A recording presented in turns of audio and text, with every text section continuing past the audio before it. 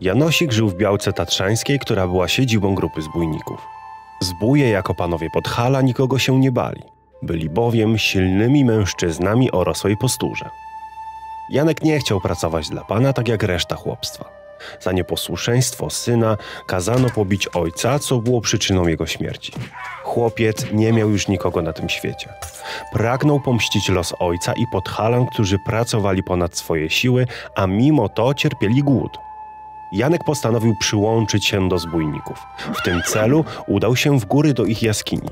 Aby zostać zbójeckim kompanem, musiał przejść ciężką próbę i wiele sprawdzianów. Kiedy udało się Jankowi dojść do zbójników, ci akurat zmierzali do wielkiej jaskini. Niedaleka znajdowała się druga jaskinia zamieszkiwana przez boginki. Była ona po drugiej stronie Niedźwiedziej Góry. Trzecia jaskinia była już w Tatrach Liptowskich. To właśnie w niej Janek chronił się długo ze swą ukochaną Maryną.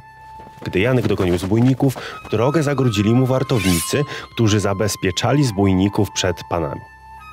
Chłopiec na pytanie dokąd idzie odpowiedział, że chce przyłączyć do zbójników. Ci jednak mu nie uwierzyli. Zbójnicy postanowili, że chłopiec musi się wykazać.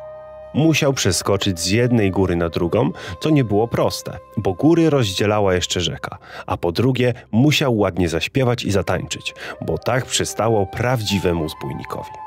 Janek wiedział, że mimo trudności zadań są one wykonalne. Zbójnicy poszli wojować, więc Janek dostał czas na ćwiczenia. Chłopcu strasznie dużył się czas, więc postanowił pospacerować w kierunku gór. Jednak zabłądził w głębi bukowiańskiego lasu. Na szczęście Janek dojrzał światełko i podążył w jego kierunku.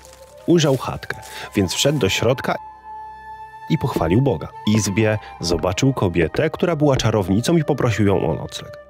Kobieta ostrzegała chłopca, że mieszkają z nią jeszcze dwie siostry, które mogą go zabić. Janek jednak nie miał siły iść dalej i postanowił spędzić tam noc. Ułożył się wygodnie na ławie i zasnął. Gdy przyszły pozostałe dwie czarownice, postanowiły nie zabijać Janka, gdyż bardzo chłopiec im się spodobał. Musiał jednak poddać się próbie. Polegała ona na położeniu rozpalonych węgli na brzuchu. Janek przetrzymał próbę, mimo iż gorące węgle wyżłobiły mu dziurę w brzuchu. Czarownice postanowiły pomóc chłopcu w zostaniu zbójem. Jedna kobieta pozbierała podkowy końskie, aby wykuć mu ciupagę zbójecką. Druga upolowała zwierzę, aby mu wykonać opaskę zbójecką. Trzecia zbierała len i uplotła mu koszulę. Ciupaga pomogła mu przeskakiwać z góry na górę i mogła rąbać ośmioro drzwi naraz. Na dziewiątych traciła swoją moc. Opaska dawała mu nadprzyrodzoną siłę, tak, że mógł wyrywać drzewa z korzeniami, a koszula nie przepuszczała kul. Rankiem Janek wyszedł z chaty na spotkanie ze zbójami. Przypomnieli mu o warunkach, które musi spełnić, aby do nich dołączyć. Chłopiec odbił się na ciupadze i przeskoczył z góry na górę. Harnaś jednak nie chciał przyjmować Janka do swej zbójeckiej grupy, więc zadecydował, aby Janek zmierzył się siłą ze zbójnikami. Oczywiście dzięki koszuli pokonał wszystkich, Wobec tego postawił mu się sam Harnaś. Było trudno pokonać Harnasia, gdyż siłą dorównywał Turowi. Jednak za pomocą podarków od czarownic udało się pokonać Jankowi i Harnasia.